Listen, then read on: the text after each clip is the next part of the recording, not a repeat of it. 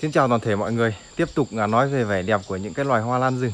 Thì à, thời điểm này cũng có rất là nhiều những cái loài hoa lan rừng khác nhau nó nở hoa và mình sẽ thường xuyên à, lên những cái video để chia sẻ cho các bạn vẻ đẹp của những cái loài lan rừng đó và à, ngày hôm nay ngay phía sau mình đây một cái loài lan mà chắc là rất là phổ biến và cũng mọi người cũng không còn lạ lẫm gì nữa. Một cái loài lan à, thuộc cái dòng lan hoàng thảo thuộc cái dòng lan hoàng thảo. Hoàng thảo là một cái dòng lan mà đôi khi có thể các bạn mới chơi lan mọi người sẽ không được biết không không à, rõ về nó. Dòng lan hoàng thảo thì nó nó là một cái cái dòng lan mà rất là đa dạng cái, có rất là nhiều chủng loại khác nhau. Và ở đây là cái loài à, hoàng thảo vải rồng của nhà mình. Nhà mình trồng loài này thì nó mình cũng không trồng nhiều nhưng mà mỗi khi đến mùa hoa thì nó lại vẫn cho mình những cái bất ngờ nhất định. Đó là cái độ rực rỡ của nó. Năm nay thì ờ, hơi tiếc một chút tại vì là cái giò hoàng thảo vải rồng của nhà mình thì ờ, nó nở hoa không đều các bạn ạ. Bây giờ thì nó có phải có khoảng uh, chục cái ngồng hoa nữa. Thì mấy hôm nữa nó mới rộ. Rất là nhiều. Còn chục cái ngồng nụ nữa các bạn ạ. Đấy, rất là nhiều nụ. Phải mấy hôm nữa mới rộ. Nhưng mà mấy hôm nữa thì có khi mình lại bận công việc cho nên là mình uh, không có thời gian làm video cho mọi người xem. Thì hôm nay cũng uh, tạm tạm có một vài những cái chùm hoa ở đây. Thì mình sẽ quay cho các bạn xem biết về cái vẻ đẹp của cái loài này đây là một cái loài lan thuộc cái cái ờ, chi lan hoàng thảo. Chi lan hoàng thảo thì mọi người thường biết là như là cái dòng phi điệp tím ấy, hương vani ấy, rồi là ờ, hoàng thảo vôi, rồi là trầm tím, rồi là long tu, vân vân vân vân, rất là nhiều. Những cái ờ, loài thuộc cái chi hoàng thảo. Thì những cái cây đấy hầu như là nó sẽ có cái bộ thân thân lá, tức là những cái dạng thân thòng. Nhưng mà cá biệt có một cái loài đó chính là vảy rồng vải rồng và vải rắn là hai cái loài rất là giống nhau. Thì hôm nay mình nói cái dòng vải rồng nó cũng thuộc cái chi lan hoàng thảo. Nhưng mà cái thân lá của nó thì khác một trời một vực luôn. Trước đây mình đã từng à, làm video về gặp gỡ của mình về cái loài lan này ở trên rừng. Và đã có những à, bình luận là vải rồng là không phải thuộc lan hoàng thảo. À, nghe buồn cười nhất là cái câu hoàng thảo vải rồng. Đó là đó là những à, bình luận mình nghĩ là của những người mới chơi lan hoặc là những người chỉ chơi phi điệp tím mà không biết không hề biết đến cái sự đa dạng của những cái loài lan rừng của Việt Nam mình. Đấy à, cây vải rồng nó là một cái dạng cá biệt thân nó không có dạng thân thòng. Những cái thân củ nó bám sát vào cái thân cây như thế này.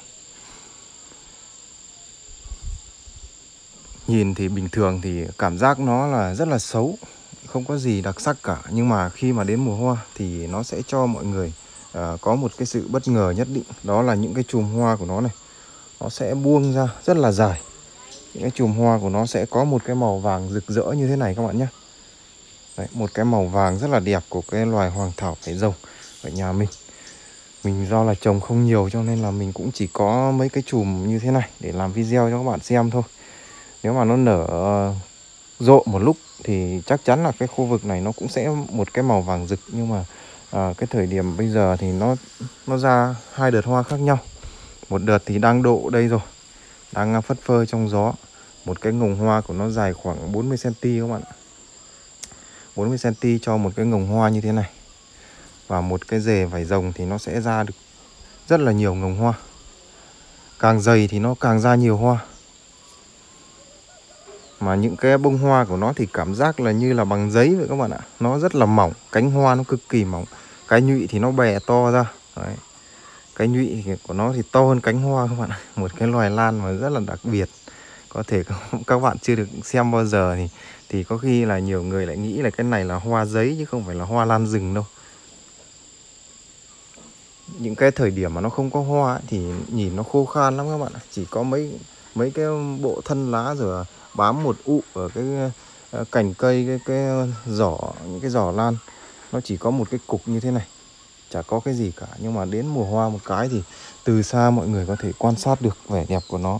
Nếu mà mọi người mà là những người đi rừng ấy, các bạn sẽ sẽ biết. Từ xa mọi người có thể nhìn thấy những cái màu vàng rực ở trên những cái thân cây. Đó chính là vẻ đẹp của lan hoàng thảo vảy rồng. Những cái chùm hoa rung rinh trong gió nó sẽ nở được khoảng à, 4 năm ngày các bạn ạ. 4 năm ngày, nếu mà điều kiện thời tiết nó thuận lợi thì ngắm hoa lan rừng ấy thì nó giới hạn lắm nó không được lâu như là những cái loài lan công nghiệp đâu. Những cái loài lan công nghiệp thì họ đã lựa chọn hết những cái ưu điểm của những cái loài lan. Họ lai tạo họ mất rất nhiều công sức để tạo ra.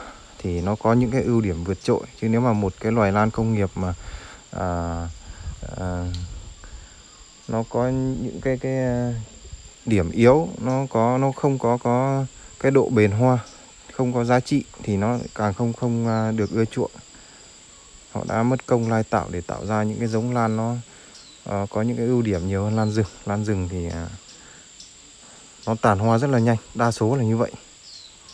Nhưng mà nó có một cái vẻ đẹp thánh thiện của nó mà không có cái cái gì có thể thay thế được các bạn mặc dù là chỉ được ngắm có vài ngày thôi ngắm không nhiều chăm chút thì cả năm chủ yếu là ngắm thân ngắm lá còn hoa thì chỉ được thưởng thức có vài ngày thôi nhưng mà nó vẫn có một cái sức hút rất là đặc biệt mà rất là nhiều. Cộng đồng anh em chơi lan, đam mê, sưu tầm rồi là chăm sóc. Đây là cái chùm hoa mà nó nó chưa nở căng này các bạn này. Những cái cánh hoa mảnh mai. Vảy rồng thì nó ưa thoáng. Nó thường sẽ có thể chịu được nắng 100% ở ngoài tự nhiên luôn. Ở những cái cành cây mà khô khan, phơi đầy nắng nó vẫn sống được nếu mà ẩm thấp quá thì nó sẽ kém phát triển các bạn nhé. Kém phát triển nếu mà mọi người để thấp, nhất là cái vảy rồng này nhiều anh chị hay để trụ. Để trụ thì nó hay bị thối. Cái thời điểm mà nó lên những cái mầm ở ngọn, cái mầm này, chẳng hạn đến bây giờ nó nở hoa rồi nó nó sẽ lên những cái mầm thì nó rất hay bị thối nếu mà để ở dưới thấp. Còn ở trên cao thì nó sẽ không bị thối, nhưng mà đôi khi là không chăm sóc được thì nó sẽ khô quá. Cho nên bây giờ thì là hầu như là cái cái ngành lan phát triển hầu như là ai cũng có những cái khu vườn rất là đẹp và chế độ chăm sóc rất là hợp lý thì đối với cái dòng vải rồng này cứ thoáng là sẽ phát triển là sẽ đẹp. Và đến mùa hoa thì lúc nào cũng rực rỡ. Nếu mà một bụi to cái này thì ờ, nó chỉ rất là đơn giản thôi. Mình trồng thì nó không nhiều chỉ có mấy rể nhỏ nhỏ thôi. Mà lên cân thì chắc là khoảng 4 năm lạng là cùng. Nhưng mà nếu mà các bạn làm những cái giò to ấy, cái giò mà khoảng độ vài kg đến hàng chục kg thì đến mùa hoa nếu mà các bạn trồng thuần được tốt, treo ra cổng thì phải rực rỡ cả phố chứ không phải chỉ rực rỡ ngôi nhà của mình đâu. Hôm nay mình à, chia sẻ một chút cái loài này. Loài này thì mình nói rất là nhiều trong những hành trình đi rừng rồi. Tuy nhiên là cái thời điểm bây giờ ấy, đang là cái mùa hoa, nhưng mà mình lại không có những cái trải nghiệm trên núi cao vì à, thời điểm bây giờ thì thời tiết nó rất là thất thường. Và muốn ngắm hoa lan ở trên tự nhiên thì không phải dễ đâu các bạn ạ ở nhà thì mới có thể ngắm được thôi, chứ còn ở trên rừng thì nó ảnh hưởng rất nhiều bởi thời tiết, bởi cái sự gian nan vất vả của những cái chặng đường. Thì à, không phải lúc nào mình cũng có những cái gặp gỡ ở trên rừng để quay cho các bạn xem được. Ngày hôm nay mình chia sẻ cho các bạn vẻ đẹp của mấy cái chùm hoa lan vải rồng, rất là giản dị ở nhà mình.